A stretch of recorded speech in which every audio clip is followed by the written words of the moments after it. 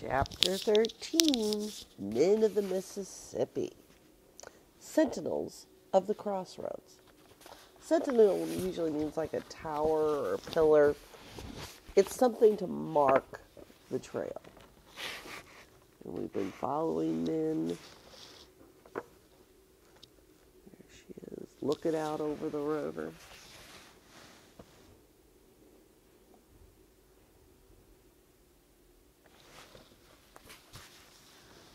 Sentinels at the crossroad.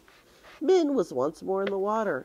After sloshing in skim milk all summer, she found the water stuff quite thin. She swam, yet her nose didn't bump barrel staves. No more did she scramble in circles, but she was so fat she tired easily and she stopped. Then she was hungry. Her eyes peered blankly. No food, no chunks of tomato, cabbage, chicken, pork fat, trimmings of beef, no fish heads, not even a smell.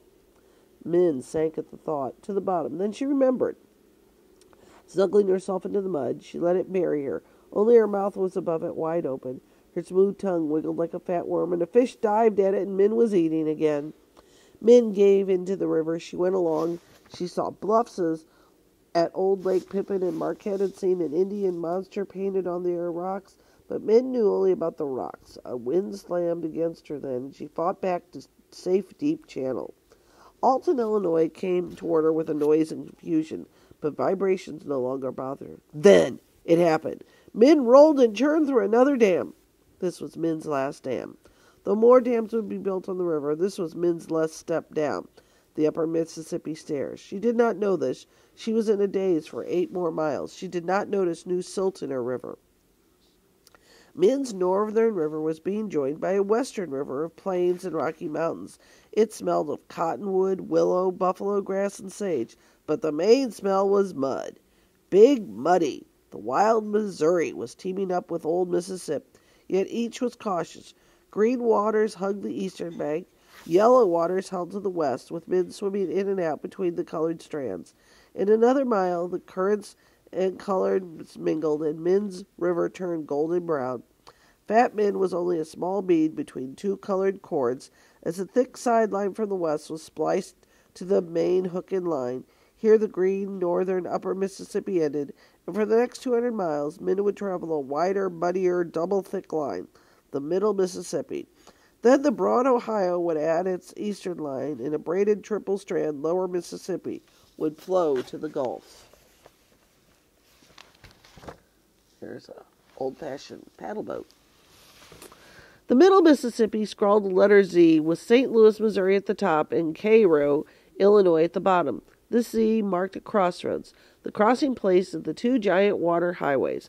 Countless people had traveled west from the east coast, starting by boat, then walking over the Appalachian ranges, then drifting down the Ohio, paddling up the middle Mississippi, pushing west up the Missouri, Indians, trappers, traders, miners, settlers had followed this trail, the great east west water trail, crossing the great north south water trail of the middle Mississippi. Ancient mound builders once lived at these crossroads. Along the middle Mississippi they heaped their monuments, some of them quite huge, such as the Cahokia Mounds near East St. Louis. Like those ancient hill shapers, the soil cutting rivers leave mounds, shapes of animals and birds, oddly crumpled outline of mysterious meanings, magic sentinels of crossroads.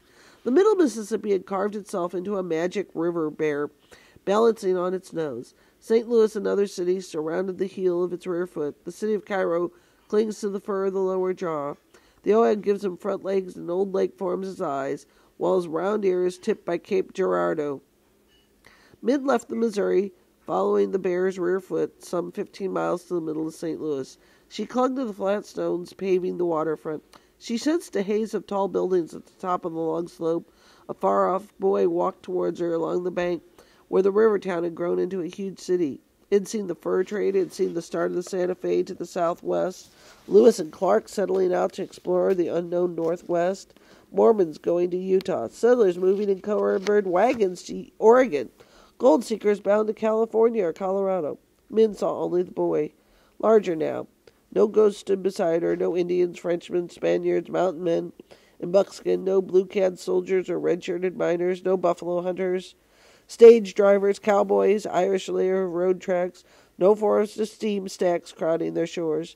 Towboats rode by, doing their work of old time steamboats. Nobody came but the little boy, thinking of turtle soup, and men left.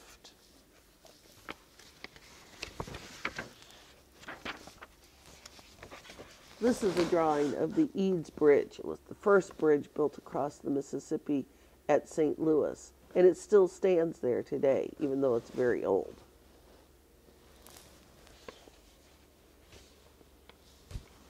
The Middle Mississippi held much magic. There was the Eads Bridge of iron dating from after the Civil War days. Folks once said that self-taught Eads boy, he can think and do engineering things no one's ever dared, but his wild scheme for raising sunken cargoes brought him a fortune. His Eads jetties made the river clean its own muddy mouth. Now men in St. Louis drifted under soaring iron of his dream bridge. A century ago, there was other magic too. Artists drifted down to the river making sketches. At St. Louis, they painted long panoramas from their drawings, rolls of painted cloth to be slowly unwound before audiences. These bright colored, ground up silts of earth and minerals mixed with oils were smeared on cotton cloth and shown in cities of America and Europe. Countless people who would never see the river itself watched its magic roll past as though they gazed from the docks of the river steamboat.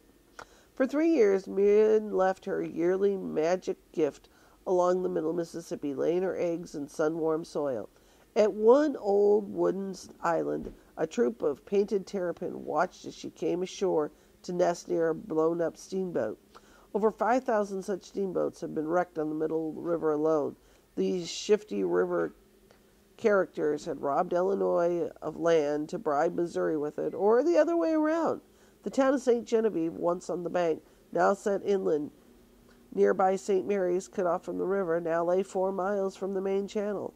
Minn walked on silted stones, which once had been part of Kaskaskia, important French tr- river, frontier town. Opposite Grand Tower and the River Bear's shoulder, men passed a towering rock.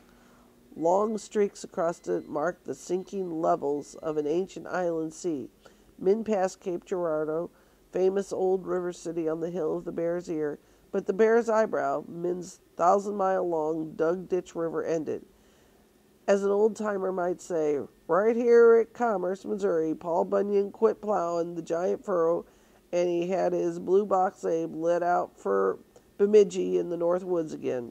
Walls of the ditch were dwindling away. From here to the Gulf, man made levees would take the place of bluffs along the western banks. The magic river bear stared down at a new kind of river. Chapter 13 Minn of the Mississippi.